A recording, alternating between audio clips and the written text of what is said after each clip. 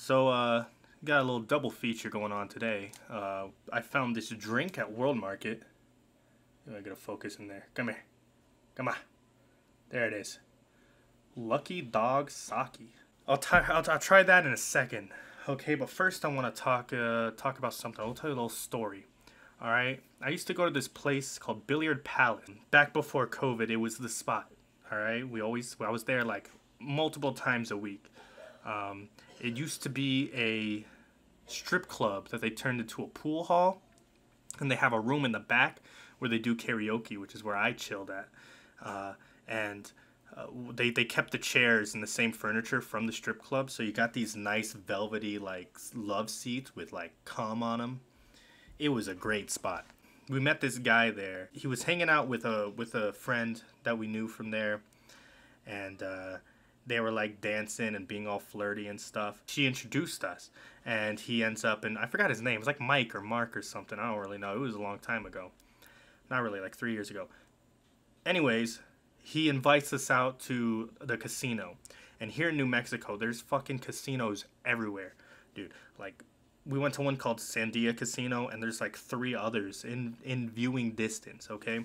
We go to this big one, it's like a resort. It was it was weird cuz we just met this guy and he's taking us to a casino. like, I guess so. What the fuck ever. And uh, once we get in, he gives us each a hundred dollar bill. Um, it was me, uh, Amber, Lizzie, and him. It was just the four of us. Might have been one other one other person. I don't really remember. But yeah, he gave us each a hundred dollars and was like, "All right, go play some shit." And I was like, "Damn, this dude's this dude's got money." All right, just handing out hundred dollar bills, and we play for a bit. I make like I make like four or five hundred dollars. Uh, Amber doesn't really make much that night, and uh, we go home. That was it. It was chill. It was cool. Whatever. I was like, damn, we got ourselves like a like a sugar dad friend, you know. We don't gotta fuck him, but he's cool. He's gonna give us stuff. Oh, the funny thing about going to the casino is that it was technically still uh, it was the beginning of COVID, and there were still like restrictions and lockdowns and shit. But the casinos they don't give a fuck. All right, they were just like, all right, well, uh, the buffet's closed. That fucking sucked. But you you can't sit next to each other. You just gotta put a put a seat between you and someone else. That was that was all the rules they had. A week later, he invites us out to the casino again, and we go. This time it's a little different. And now we're gonna take a little pause in the video and take a sip from this. Again, let me try to focus her. Lucky Dog Sake. Um, I got this from World Market. Look, it even comes with a little straw to poke into it. It's a it's literally just a juice box. And it's 13.5% alcohol. I don't really know. 13.4%. This is a is a weird straw. Look, it's like a oh oh you can't put it back in. It's like it's stuck. That's wow. Look at that straw. You can you can take off the sharp part when you're done and just use this part for drugs. Get the straw down in there. All right, there it is. Juice box.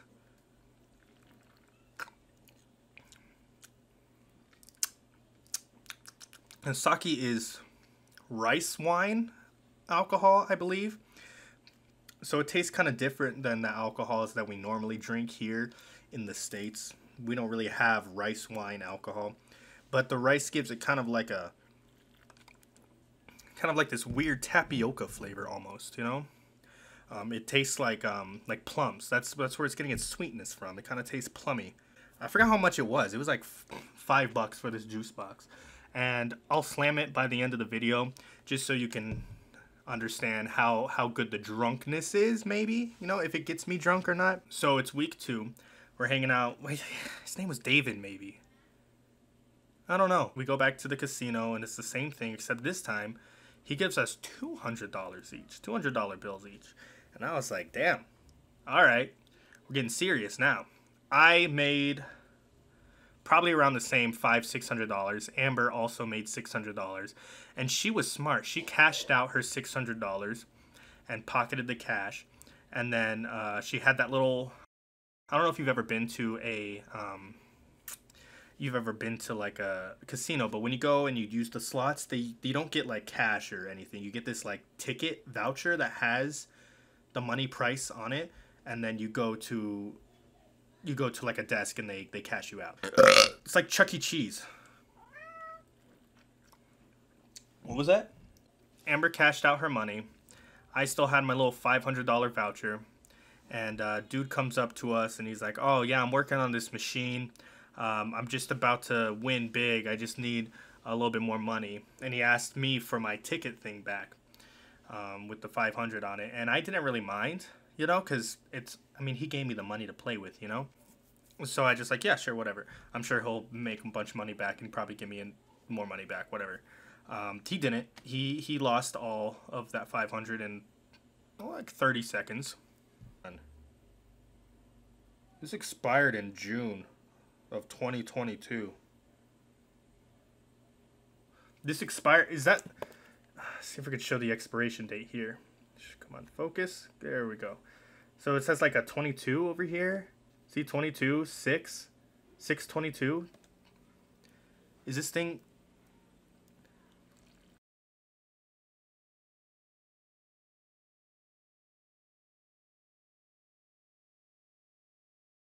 Yeah, and he's just fucking uh he just leaves. He's like, yeah, he owed his like he was stealing money from his mom and he owed his mom and like other people he owed people fucking money cuz he had this gambling addiction. And it, we live in Albuquerque, New Mexico. This is not the place you want to be to owe people money, right? Cuz you know, okay, you've seen Breaking Bad? So he's gone. Um she ends up moving to like North Dakota she was this native girl, so she moved out to the res with her dad or something. And yeah, I just I felt really bad after that because like now knowing that I was I was playing these slots with like this some this poor guy's like mom's and wife's stolen money because he had a problem. And the only reason he had us there and gave us money to play with was just for that situation where he lost a bunch of money and needed like you know he thought he if he if he had us out on different machines he could have a higher chance of getting more money. I was so upset too man. I really wish i had a rich friend. I've never had a rich friend before you know? I thought maybe he would take me on a boat or something. No don't you fucking lick my mouth. I saw you lick your asshole earlier. So that's that story uh, thank you for listening. I'm not even halfway through the juice box, and I said I would I would let you know what the drunkenness level was. So I'll tell you what I'm gonna do. I'm gonna slam. Can you see in the light how much is left? No, this box is too dark. I'm gonna slam the juice box, and then I'll just like sit a couple minutes, and then I'll let you know how drunk I get.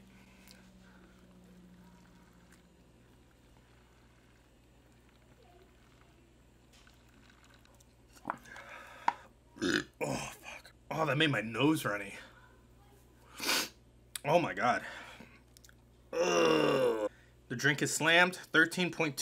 Jeez, it keeps going down every time I look at it. I swear it was 13.5, then it was 13.4, and now it's 13.2. I'm going fucking, I'm going insane.